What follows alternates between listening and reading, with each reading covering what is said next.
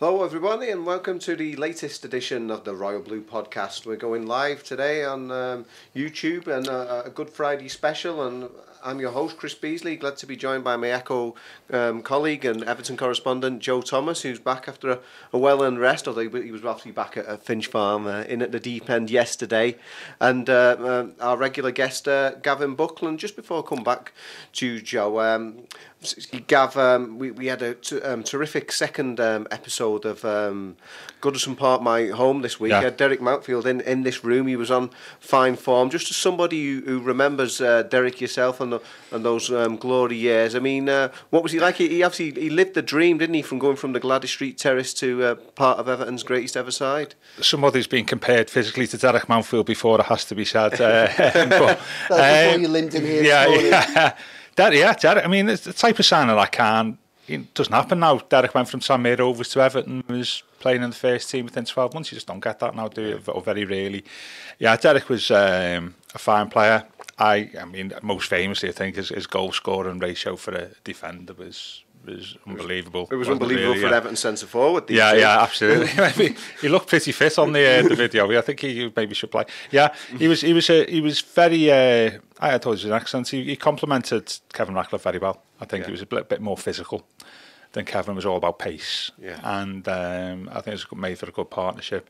But he, he was a he was a schoolboy centre forward, wasn't he? Yeah, he was- and he um, yeah. he, he took that he took that into his into his senior playing days, and he, and a lot, of his goals were weren't like classic centre halves. He did score the odd one with you know quite a few you know headers from crosses and, Yeah. and dead balls, but some of his finishes were great. You know they were like sort of centre forwards finishes, and uh, yeah, he uh, he certainly lived the dream. And it's always good to have that in tight winning teams. Oh, and, uh, well, uh, I think local born players who, who support you. And he, he, he got a couple of injuries. Um, I think he, was knee was his cartilage. I think he had problems with. He had a hmm. couple of operations, and it's sa sadly, and it touches on this. It sadly tailed off a little bit, and and, and I think you know Howard was forced really to to buy Dave Watson. And once Dave Watson came and got settled, then Derek, who still had injury problems, was. Um, was was you know obviously going to be struggling to get, get a game, but then he had a good career at Aston Villa and um, yeah, he's definitely you know. I think anybody play that team. If you played that team all season, then you're an Everton legend for me. And Derek, also because he was a local born player and a supporter, Yeah. um, you know, he adds a little bit extra on on top, and uh, and he's a he's a great fella as well, isn't Oh, he? yeah, he he's a a, he's a he's a lovely guy, Derek, as well. No airs and graces about him, and uh, you know, he's one of my favourites. Terrific. Um, before we, we move on to the game and the previewing uh, and, all of that, I mean, unfortunately, the, the noise, as the manager calls it, is always Joe with, with Everton. I mean, while you were away, obviously, I've been doing that stuff with the FAB. They uh, wrote letters to Farhad Moshiri, to Josh Wander, and to Richard Masters this week, and then they were published uh, the details of those. I must say that uh, um, Triple Seven did get back to them and kind of said, "We'll get back to them and say we can't actually say anything at, at this this, this um, period in time. And then there's a, there's a piece from yourself um, today talking about just how Triple Seven are continuing with their, their commitment in terms of the club and, and, and the finances, even though we're still waiting for all this to be approved. And that was that was part of the the, the, the FAB's concerns of just this, this limbo that Everton are in at the moment. Yeah, I think it's an understandable concern, and I think it's probably worth commending the uh, the fan advisory board for some of their work, particularly over the last few weeks. I think they've mm -hmm. judged the tone of things quite right, right, and. Um, you know, uh, it's a difficult place to be an Everton fan right now. Yeah. Uh, and I think they're doing being as proactive as they can to try and raise the concerns with the right the right concerns with the right people. Um, because it does feel like every week you you almost you, you wake up on a Monday morning and you you brace yourself for what might come next and Yeah. yeah, that is going to continue for, for, for more weeks to come, unfortunately, because we know that obviously we know the account's going to come out before the end of the month, which is getting very, very close, and we also know that. Um, you know, we know that the verdict will come in the second PSR case after con- Yeah. the case concluded earlier this week. Yeah. Um, and that's before you even get into the the, yeah, the, the footballing matters because obviously Yeah. it's a very very big Easter weekend and then obviously going into that game against Burnley is, is, is going to be huge as well. But yeah, no, they raised legitimate concerns, and I think there's a general degree of frustration from across the fan base over this process. There's understandable concern about 777. There's also understandable concern about the length of time this is taking and what that means. I think that they are right, you know, to ask for answers like we have asked for answers Yeah. and asked what you know for details on the process and what's going on. And you know, the more people that keep asking, you know, the the powers that be those questions, um, the better I think. And you know, I, I think that you, you know you're right. Obviously, I, I wrote um, that seven seven seven have, have come up with their you know, they've signed off their latest funding package for Everton. So the the, the money for to take Everton through April will be coming from seven seven seven. Just takes their total commitment to just over two hundred million dollars now. Um, obviously, that's a, a huge amount of money, and it's been another addition additional layer to the, the length of time it's taken for um, them to get approval. Obviously, we, you know, we're six, seven months in, and that additional debt it keeps going up and up and up that Everton are in. It's more money that they owe to more people. Um, you know, as they try and survive until uh, you know outcome is reached. But I also think you know it's important to raise it. Not only is there concern with the length of time it's been taken, but also still with seven seven seven themselves. That's a big point of what the FAB are doing. You know, they submitted a load of questions to um, seven seven seven back in October, Yes. just around what their plans are, what their vision for the club, their strategy, the sources um, of their of their of their finances, of their capital, and, and what it is that they intend to do with things like the stadium. And they haven't had an answer. Um, and you know, I think you know asked similar questions at the time, and was probably met with a similar answer about seven seven seven believing that they're bound by you know prejudice and confidentiality, and not wanting to you know do anything that might impact the the, the, the scrutiny that they're going under from the Premier League. But to be perfectly honest, I think that's a lot of nonsense. Really, um, I think that they, I think that they, they have the capacity and the freedom and the um, the freedom to come out and and explain some of their um, thoughts and their plans and to reassure supporters over what it is that they're hoping to do. I think that they have that, and I think there are numerous channels like ourselves to be willing to give them a platform Yeah. if they were to come out and be a bit more transparent about what they do. You know, it's been a journey of discovery really over the last six months, and it's still true to say that the vast majority of stories around that organisation are still negative. Yeah. Um, you know, we are one of, I imagine, several, but we have constantly knocked on their door and said, you know, what is your plan? And also, you know, you keep pointing to the negative, and I think in one of their releases they said that there was a lot of perhaps misreporting around them, made that allegation. We've gone to them and said, well, what is the misrepresentation? Where are the positive stories? And you know, the fact that we haven't written any or very few is, is, is as much down to them as it is to anybody else. So, you know, I, I, you know, someone that's kind of spent a lot of time in courts and knows about prejudice and things like that, I don't really see how them coming out and explaining what they plan to do with Everton would prejudice this, this um, process with the Premier League. Indeed, that largely seems to be what the Premier League are asking them themselves. So it's a conversation that must have been going on for six months anyway. Um, I think it's um, you know I think it's poor that seven seven seven haven't been more transparent, uh, given the amount of time that's, that's that's that's passed and the amount of concern that I think is justified around their potential ownership. But that being said, you know obviously, you know they are the ones that have signed the deal at the moment, and um, you know we will still give them a platform Yeah. to say you know that platform will always be open to them to, Yeah. to try and explain themselves. So. Yeah. Um, Gav, we've had a, comment coming in now on uh, YouTube. Uh, Emma EFC says, "Why is it always left to the fan groups to fight for us? The Yeah. silence from the club, as per." Um, what are your thoughts on um, the, the FAB um, correspondence um, this week? Um, obviously, to the, the three uh, um, parties, uh, Mr. Moshiri, Wander, and uh, Masters. Well, I can't really add to, to what Joe Joe said. I mean, I think we are in limbo, and the worst thing about it is that there's two aspects of that that concern me. Mm-hmm. A is how that affects us on the pitch. Mm-hmm. I know Dyche really not said a lot about that, but that, that, that surely does. And and B, the longer it goes on, the more parlous our financial position becomes, doesn't it? Because they're lending money to us at quite decent rates of interest, mm-hmm. um, which makes our you know our, our debts even worse. I know that can be converted to equity if, if they if they took over, but if they don't take over, then th- that's another enormous debt that needs paying off by whoever takes over the club. So the, long, the longer it goes on, and uh, I don't we've said on, on this forum, you know, we want to get the right decision. Um, that means taking time. I think we've now gone beyond that, where we're now yeah. in a position where we, you know, we're talking about a funding package as yeah. if we're like some sort of country that's being hit by major floods that need yeah. to, you know, bailing out by, you know, the United Nations or something. Yeah. We're sort of in that position now, yeah. aren't we, as a football club, which, considering the Premier League's riches and Mercedes riches, their high say, is a, is a ludicrous position to be in, yeah. isn't it, really, if you think about it? We're like relying on a, someone to pay us out on a month-to-month -month basis. And uh, uh, that, that, and, and some of that, I think, at the moment, is down to the fact that this process has taken so long. Mm -hmm. And um, that that it's those two factors. Um, and I also agree what Joe said about the Fab. I think a lot of the stuff the Fab's come out with, not just in this uh, around this matter, but also the um, commission. And I know I know the commission sort of watered down the impact, and, and uh, I, I think a it's great to great to I think that they, they take pro- being proactive after some initial cynicism. And B, I think that I think the communication has been really clear and well written and not being at, you know sometimes mm. some of this stuff can look amateurish, can't it? Can undermine itself. I think being really well written and well argued pieces, and I think that should be that reflects well on everybody. Uh, but then all that, I think it may have been helpful if the club has just said something. Yeah. Yeah. I mean, I think I think uh, there may be reasons for that, uh, possibly, but that, that some some warming words I think from the club may have been may have been helpful.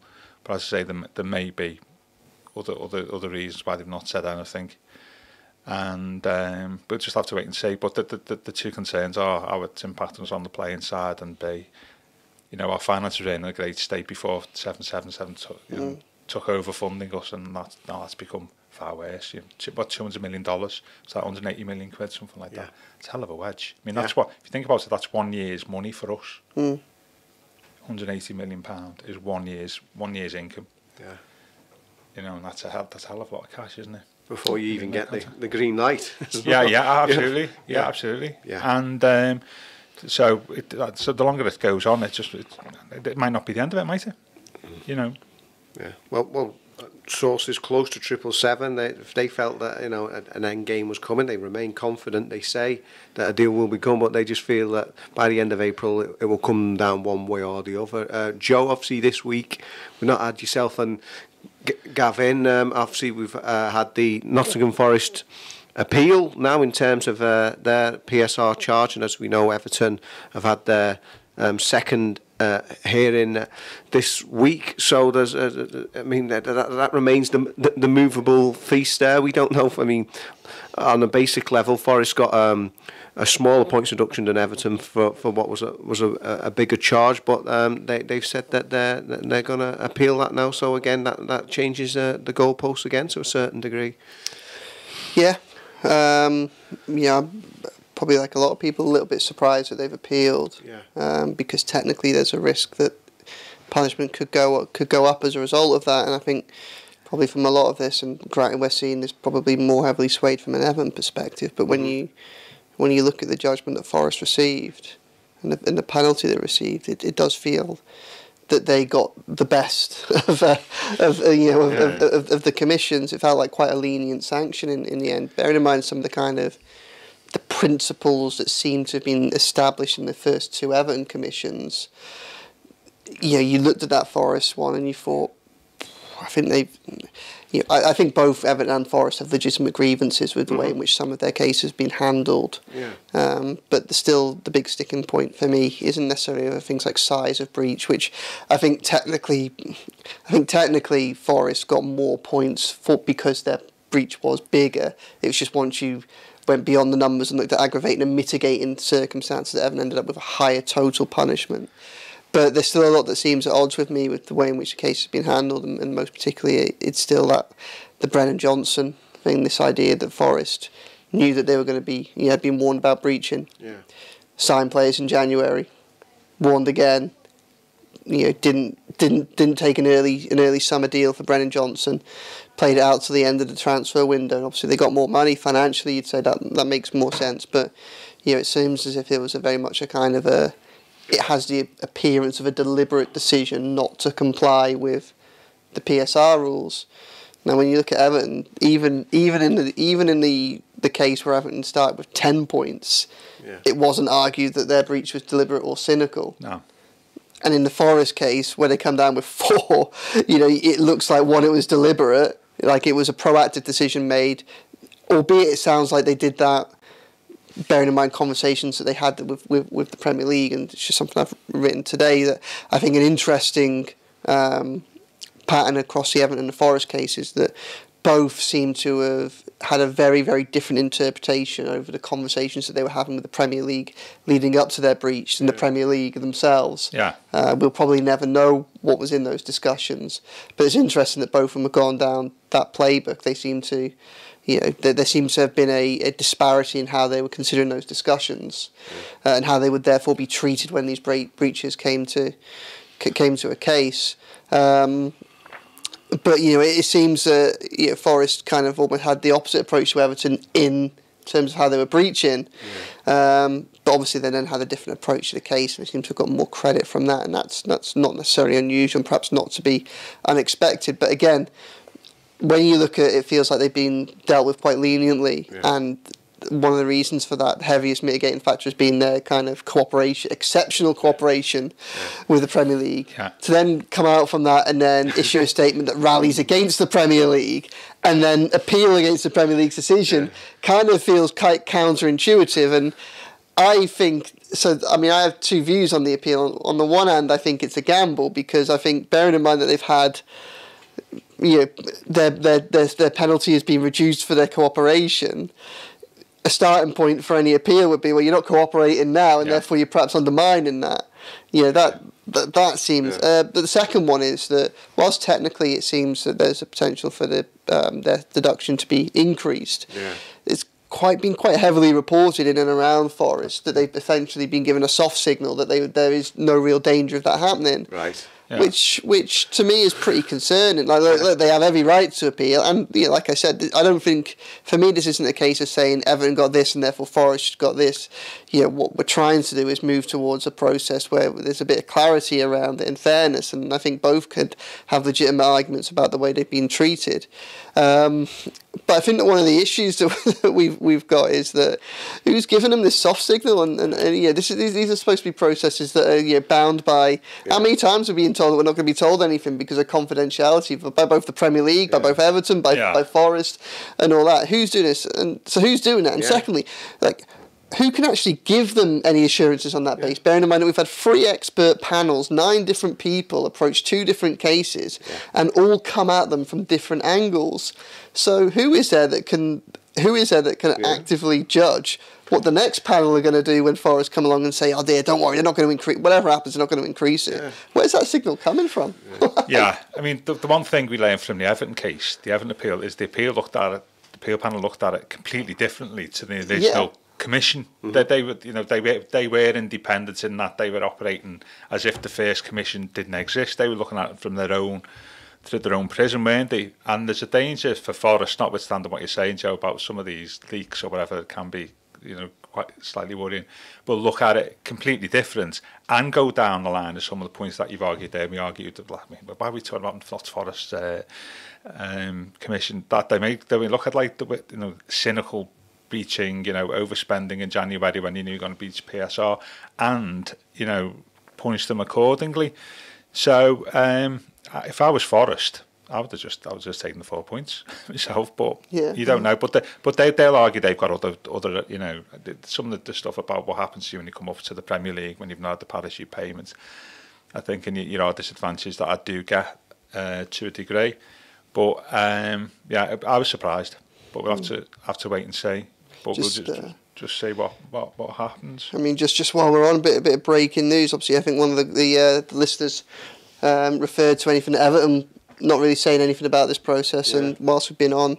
The, the interim CEO um, Colin Chong has issued a statement Yeah, on the website, hasn't he? Right, So, okay. um, just in relation to 777, um, I'll read out the, the bit in Yeah. relation to that. He goes, To that end, we are approaching the final stages of what has been a comprehensive but long regulatory process to progress a takeover agreed between our majority shareholder, Farhad Moshiri, and 77 partners, 777 partners in the autumn of last year.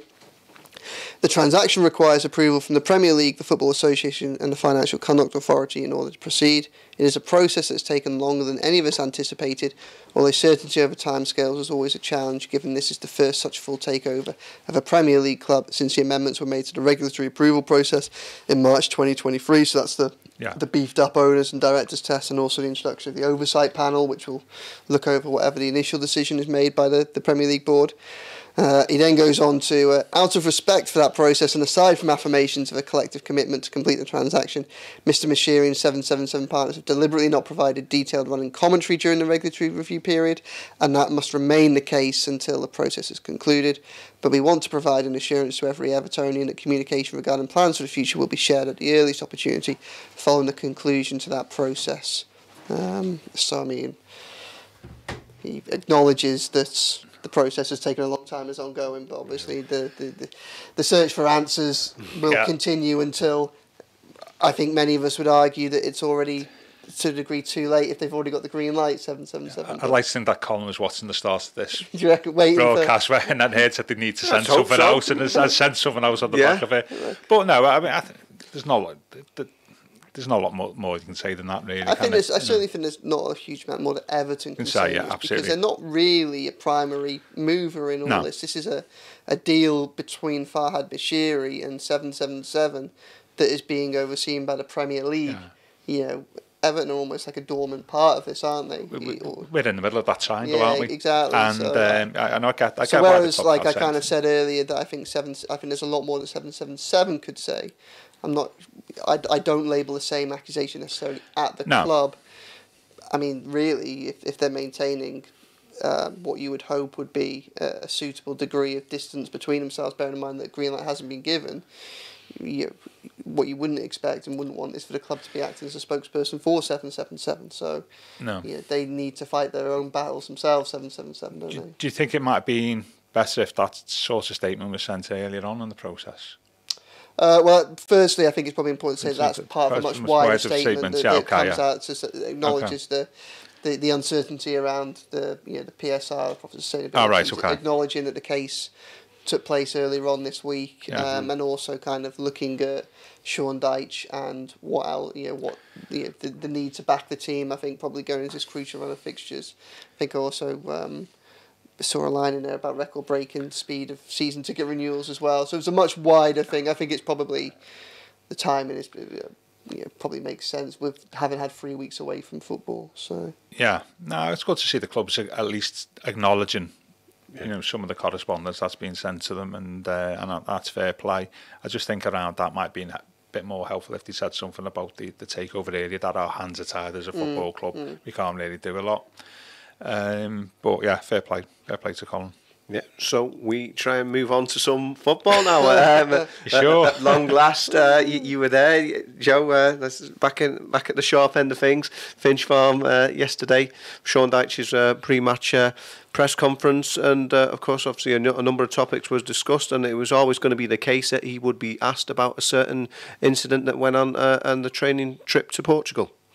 Yeah, um, yeah, he was asked. I wasn't sure if the question was coming or not, but you know, I think um, Vinny O'Connor from Sky did the professional approach of um, the t- professional tactical approach of asking all the the obvious questions that he needed answers to first, and then throwing Yeah. that one at the end, so Yeah. that if things went sour, then he still got what he needed from it, and, and fair play to it, to him for that.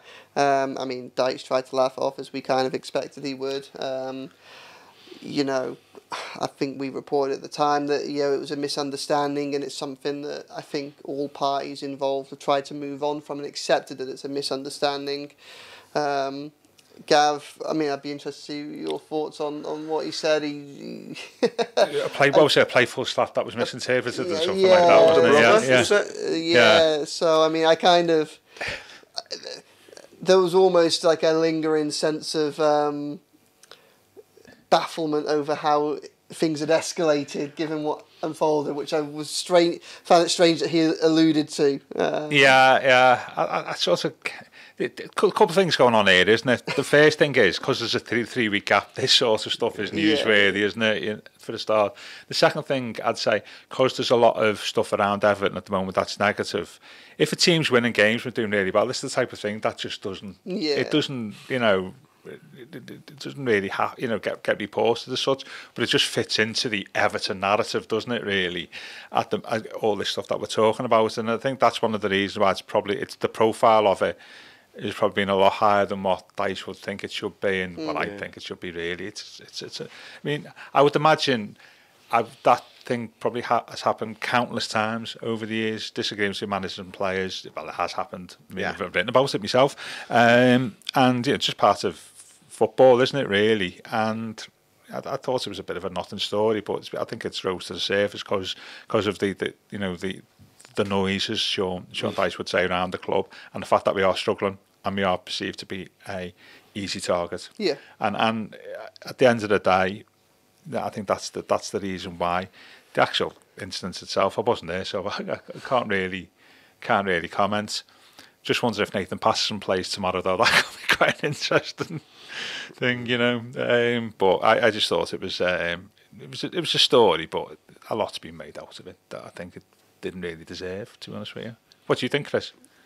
I, I think my, my concern would be um, how how we got out. The fact that um, Right, okay. uh, maybe it was uh, you know could have been some diners there in in, in the restaurant, Yeah. maybe a third party sort of it. Uh, but I'd be more concerned that yeah that what you know unity in the camp, why these sort of things mes- necessarily are slipping out. But I suppose these days, I mean, every so much, isn't it? I mean, we, um, the, the club were officially you know not revealing where they were, but then, then the players were on social media all the time, posting all kinds anyway, and that's that's the the world the world that we live in now. There is there is a historical precedence, I think, with Everton, which is similar, which is in 1990 when Colin Harvey's last season, we knocked one from the start of the season. We had the infamous uh, Martin Keown, Kevin Sheedy incident in the in the, in the, the Chinese. It was, it was in the it was in the hotel bar, wasn't it, in Southport, and that got out in similar circumstances to this.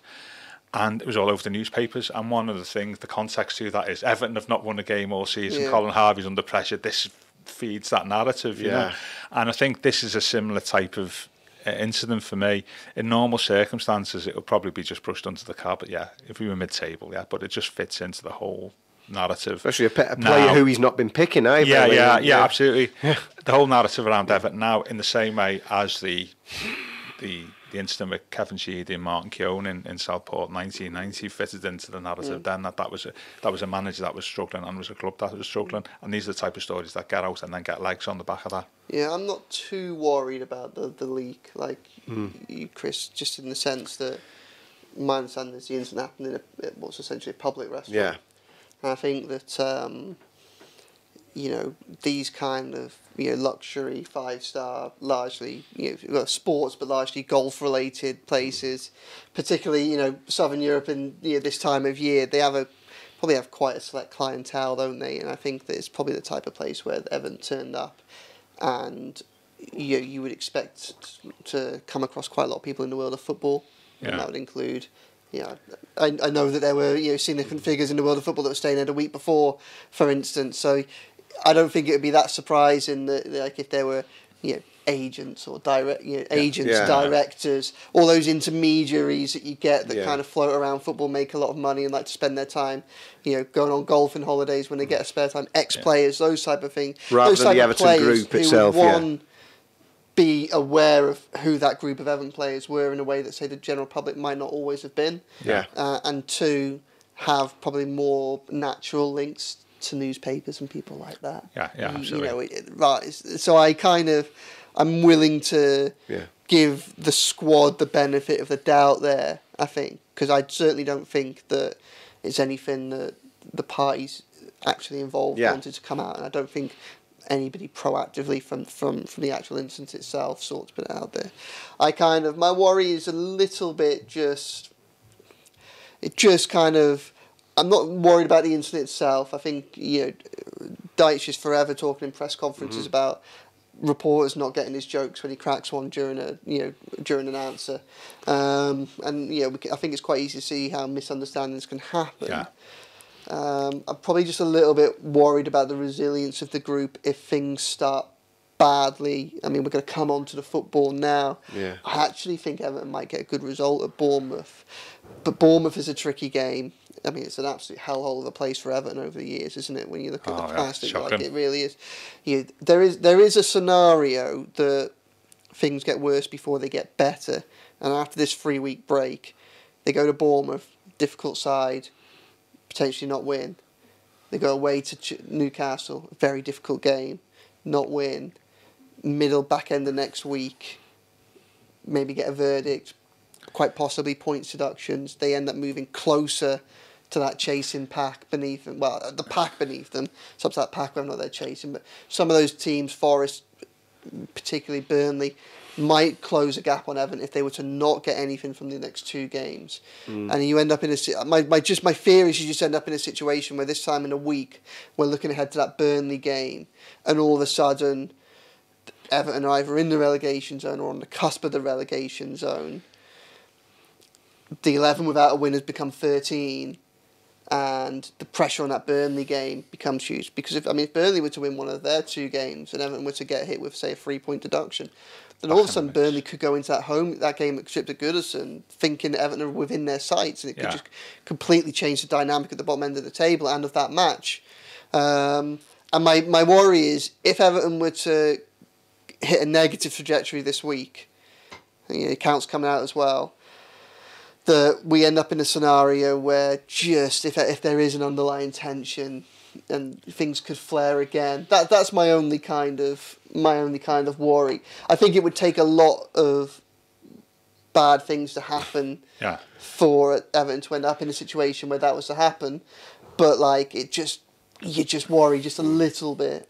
The counter to that is Dyche's won his last six Premier League games against Bournemouth. Yeah. And uh, the, say Bournemouth, Yeah. Bournemouth and Newcastle at home were, were two three nil wins. yeah. Yeah. Um, Take us back, please, Chris. so he's won eight. Prem- that They are his favourite Premier League team to face. Yeah. He's won. Eight, he's won eight out of twelve against them. Um, and Bournemouth themselves, although they've, they've picked up points, haven't they? They've conceded what five goals at home to Sheffield United Mm. and Luton in the, the last two home games. I bet to be fair, they did like four points out of that those two games. So the, the, the counter is is we got to win tomorrow, and the results. You know, go in our favour. All of a sudden, you're thinking, Well, That's you it. know, like, you there, think of there, actually, there are two ways in which this Could week be safe this time next yeah. week, but Could, play like, Burnley. That's it. Could, Yeah. could could go and play Burnley at home, get three points, Points. and all of a sudden say, you know what, I think, I think we're think safe. season's over. Yeah, yeah, yeah. The points wow, we, we've swung down over the last the- minute the- or so, like the but that's the way it can yeah, be. Yeah, Yeah, that's, that's that's right. it. Well, the, you the hearing might not be as bad as, Yeah. as some of us might fear. Yeah. You know, and you know, there is that potential. Yeah. Like we, Everton could be. You know, concertina days- one way or the eight, other, In eight, in eight, day, in eight days' time, Everton could be in the relegation zone. Eight days' time, Everton could be essentially safe for the season. So, What's probably going to happen is it's going to be a really bitty week where they kind of pick up some points, but not as many as they want. But and we just end up kind of no, know, none the well, wiser. But there is the I, I, think the week that will probably define the season is that one where they have three home games in a week now, the Forest, Liverpool, Brentford. But uh, Yeah. this this is quite possibly the most important. You know, we've got to get there first. It's been a week. It's been a season of so, so many important weeks, and this week is probably up there with a fight for being the most. But when you take into ac- Yeah. account the accounts and the probable PSR kind of thing coming out as well. Yeah.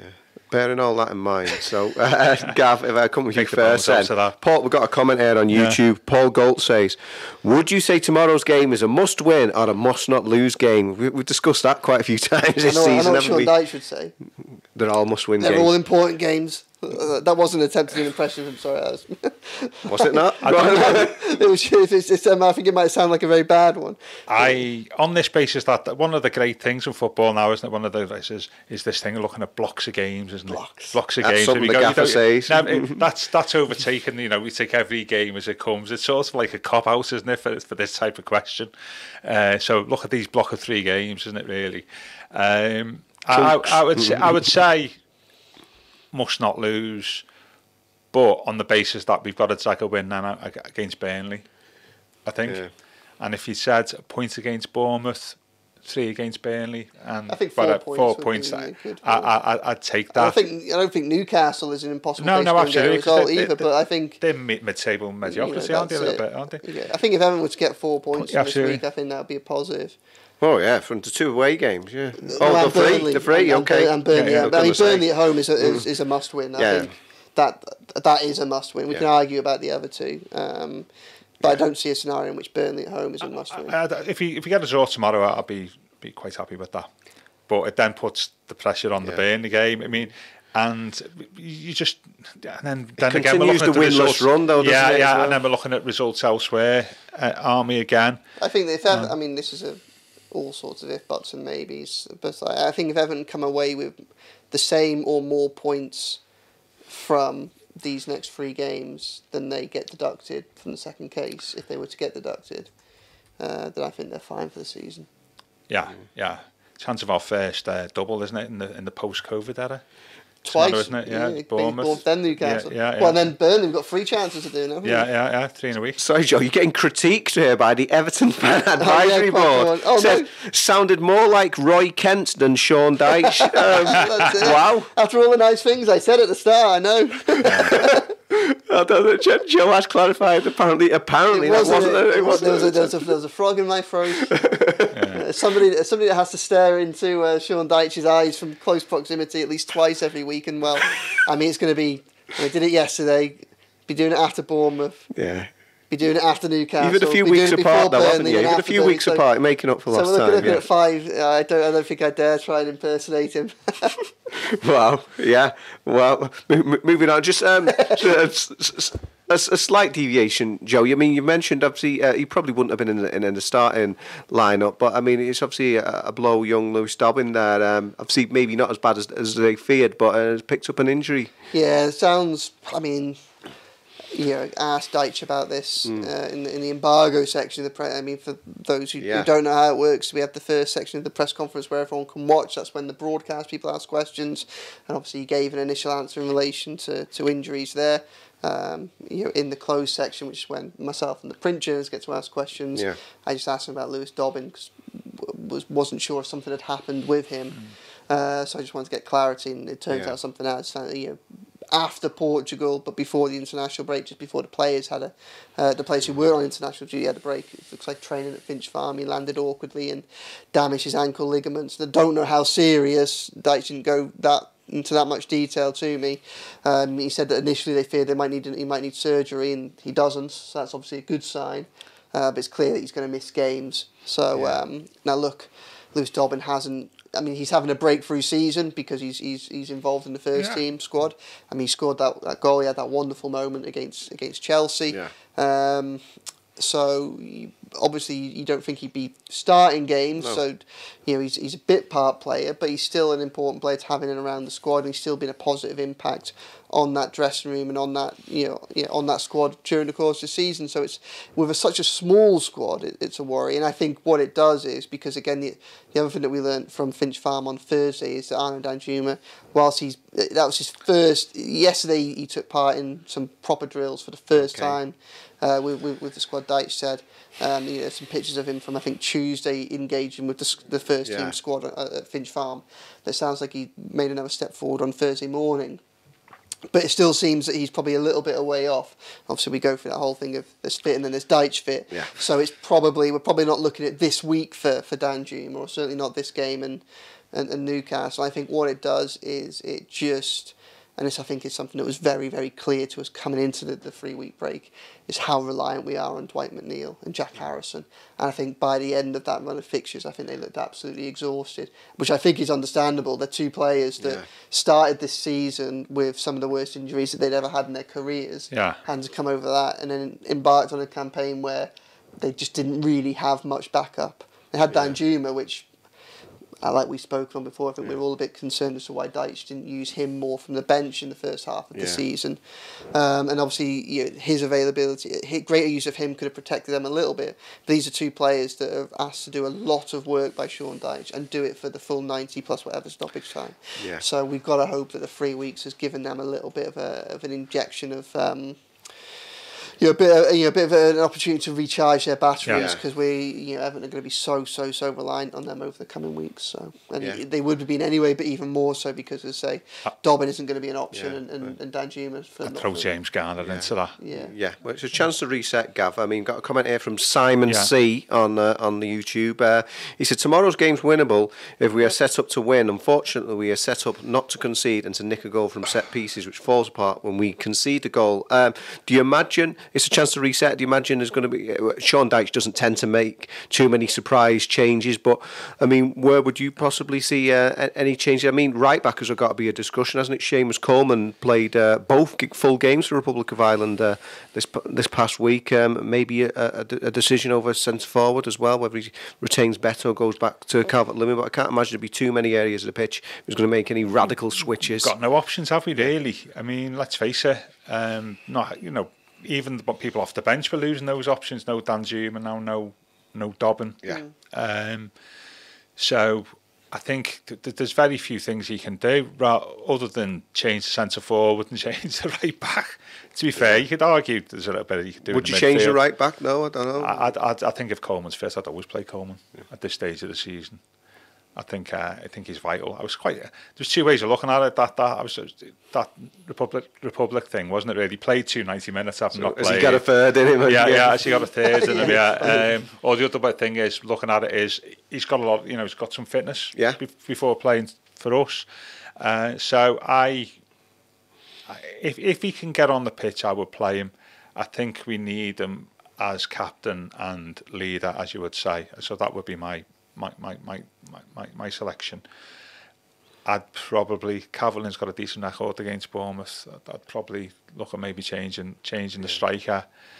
Um, I, but I, th- I think the, the key thing, the key thing in all of this, and it goes back to the original question about setting up to win and all all that is we've got to be creative. To be creative, you've got to have McNeil and Harrison firing mm. yeah. on all cylinders like they were before before Christmas, and I think that's the key thing for me. And so what we're saying is here is hopefully the break has done them well. I mean, I think Garner was Garner's probably played more minutes than anybody. But Tarkowski, I would imagine, uh, he he looked another one who looked yeah. who, who looked in need of a break. If we get them all back, all fresh, all fit, then I think we will hopefully see a little bit more of a positive approach than what we saw before the the th- three week uh, absence, and then just just take it from there. I mean, let's face it, it's winnable. Yeah. You, you were playing Bournemouth with three. Was it three nil Luton half time, was it, or mm. there or thereabouts? Yeah. You know, they, they obviously can, can, can see a goal, so it's a winnable game. It's not, it's not, maybe not like going to Old Trafford even no, the other no, week. No. It's, it's a different game, and it's something we can get get something from, notwithstanding our absolutely dreadful record there. But I think um, you can definitely win. Yeah. And and I think hopefully Dice can take advantage of the three week break to put out a more yeah. positive approach rather than just basically what it was before before the break where it was just just try and stay in the game and hope for the best. Yeah, Joe, um, Eugene McGeever says, I think Everton need to play Nathan Patterson against Bournemouth away tomorrow afternoon. I'm, I mean, it's an option. He could throw a curveball. I mean, what what do you think um, might happen in terms of, of, of, changes? Do you see that right back one as one yeah, up for grabs? There's three areas, isn't yeah. there? I think right back, centre midfield, and up front. Yeah. Uh, right back, I think he has to make a change. Um, ben Godfrey did a good job when he came in at right back against Fulham. The uh, Everton side that was really stretched. Um, obviously, you know, since then he's, he's had more of a run in the team and obviously played the last three games, uh, you know, probably more than that at right back actually. He's played the last uh, six. Last, last yeah, six. yeah, yeah, and and but the last three games, unfortunately, yeah, you know, goals have been conceded, you know, from that area. Now look, it's not all Ben Godfrey's fault. No. Because obviously a lot of those goals, there are plenty of opportunities to prevent them for, before they even get to a situation where Godfrey's the last line. But I think that it's an area where there's a potential to improve on, um, given what's happened in the last few games. I think just by virtue of having a specialist right back for a start would yeah. be would be would be a help. So, you know, Coleman, if he's if he's got the fit, if he's got the fitness, is, is a no brainer for me. I like Patterson. I think Patterson I think Patterson's raw, um, but I think he's also had spells during his time at Everton where he's had a run in the team, suggests he can do a job at right back. Most notably, the start of last season where he played really well in quite a few games, and all the way up to the derby where they kept a clean sheet and he was very good in. Yeah. But then he got injured, and you know that's been a recurring theme of when he has had chances and taken them, injuries got in the way. Um, I was disappointed not to see Patterson come on in the second half against Manchester United. You know, when Everton were 2 0 down, um, it felt like um, a more attacking option at right back was just a, an easy thing just to try when you've got nothing to lose. And obviously, it's quite telling that he didn't do that. Um, I don't think he'll start Patterson tomorrow. And I almost also kind of think the way in which things unfolded, you know, on Portugal that there's a stubbornness to Dyche. which might mean that even if he was minded to play him, he might actually go, I don't want to start him because then people will all say it's a reaction Yeah, to that and it becomes a story. Yeah. And I'd, I'd have a degree of sympathy for that approach. Um, but it's Coleman for me, first choice. Probably Patterson second. saying is there like shorthand for saying there's a little bit of admission of guilt from Dyche if, uh, if you play passing people could perceive that like we're actually just being selecting them wouldn't he I suppose the, I mean, the optics front, I'd around go back to Dominic Calvert-Lewin. I would, yeah. I just think he's. I think. I, I, I think Dominic Calvert-Lewin is a very good Premier League striker. Uh, I hope soon. You know, I hope that he finds the form Yeah. that was missing, uh, that's missed for twenty twenty four so far. I have every faith that he will do. I think tomorrow's a good opponent for him to try and, and hit the back of the net. Um, and then the other option is, is the midfield because obviously they play with the three and there's, there's four available for the first time in a while. So obviously I think Doucouré starts in that kind of chaos role um, Yeah. between midfield and attack, doesn't he? And then it's a case of any two from Onana, Idrissa and, and James Garner. And you look at what Dyche has done previously, you, suggest perhaps that Onana might be the most likely to drop well out for Belgium in the week. Um, but I, you know, I, I, as we've covered a lot on this podcast, I'm a big admirer of Onana. Yeah. I, said, Um, I just said he did well for Belgium yeah, I in know. the week. a, yeah, a and red I nod might of approval from red nod of approval from from, from, from Chris. Um, so so yeah, I mean, I'd probably start. Maybe start Garner and uh, Yeah. and Onana in behind Doucouré. So, Yeah. but that, I mean that's a bit more open to, to. But I think this is very much the perfect. I think this is maybe not the perfect, but it's certainly a very good game for Yeah. them to come back to away from home against a beatable side. Um, the Dyche has a good record against. Um, maybe further away than we'd have liked, but Yeah. yeah, On a bank holiday weekend. On a bank holiday weekend, Yeah. but Yeah. I think it's far more favourable than say, for instance, if Everton had been at Newcastle first and then gone to Bournemouth. Mm.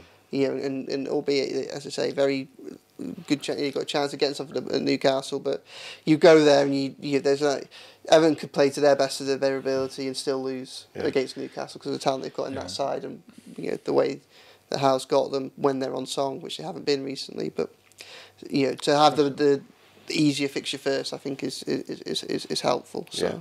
Well, well, saying that, it's, it's come to predictions time. Now, I've already given a prediction this week because uh, the the Bournemouth media um, people got in touch with me. Yeah. Obviously, Joe wasn't available, so they turned to me and. Uh, And uh, yeah, I, I stuck my neck out and I said, you know, it's, Everton are due a win. They're certainly due a win at Bournemouth, and uh, I've gone for a, a repeat of that that um, game on 28th of May. Hopefully, it's not quite as tense as that one, but uh, one 0 Everton. Uh, Gav, I'll go with 1 Everton yeah, I, I, I, I'm positive hat on. I just think the three week break, will reinvigorate yeah. us and, and they'll, they'll come back fresher. I think Decore is another player who probably, I would I'd like to think he's been working really mm. hard in, in the three-week break to get some fitness up because he just doesn't look fit, has he? Uh, and I think I think 1-0 will be uh, eminently achievable. Results, uh, so we don't go to our record 12 games without a win in the, in the Premier League. That sets us up well then, doesn't it? You're looking at a completely different block of three games if we get a win tomorrow, aren't you? And uh, I, I think we can easily do that. And they've got not much to play with. They, they've got seven points in the last three games, which is sort of means they'll still stay up, I think. And 1 0 to Everton. There you go. yeah, Joe. Two 0 to Everton. I. Wow, he's, he's Yeah, up in the stakes. I think I think Dyche will do a job. I think on, Yeah. on them. And I think like Gav said yesterday, I think it'll it'll just reset the tone for you know what's quite a, a significant week. Um, Yeah, let's hope I don't so. think it's panic stations if they lose, but they could really they had it's another it's another game, and there are opportunities throughout the, the, the final run of fixtures where Everton can take take control of things, take matters Yeah. into their own control. Yeah, I think that's and, right. and I think that this is a really big opportunity. Um, Going back back to the order of the fixtures, the one game you wouldn't want to Burnley at home tomorrow would you? Would have been the, the worst of the three. So I well, think the way, got another week to wait for that the one. Way for Gav. Out, yeah, I think the yeah. fixtures have panned out for us has been uh, has been uh, worked in our favour. Hopefully. Yeah, well, um, enjoy the rest of the Easter weekend, everyone, whether you're travelling down to, to Bournemouth or not. We'll be back with you on, on Easter uh, Monday to um, reflect on Bournemouth and to look forward to the, the trip at Newcastle United off the um, opposite ends of the uh, country. Don't uh, don't forget to, to like and subscribe for us. And uh, I've been your host, Chris Beesley. I've been joined by Joe Thomas and Gavin Buckland. This has been the Royal Blue Podcast.